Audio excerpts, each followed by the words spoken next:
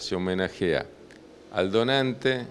se homenajea a los familiares que, autorizaron la donación y se homenajea a toda la gente que hace posible que existe el trasplante, profesionales, médicos, enfermeros, eh, eh, todo el sistema, el sistema de salud en general que permite esto. Las cifras logradas el año pasado, ¿qué lectura le merecen? Las cifras del año pasado eh, son, buenas ah, cifras en el sentido que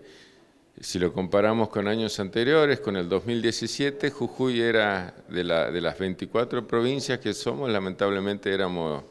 estábamos entre las tres últimas en, en, donación de órganos. El año pasado eh, fuimos la número 11,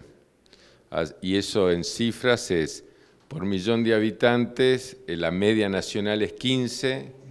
y Jujuy llegó al 14, o sea que estamos casi en la media nacional. La idea es llegar a ese número por lo menos, así que estamos conformes con el trabajo y es una buena forma este día de homenajear eh, a toda la gente que hace posible, es muchísima la gente que trabaja.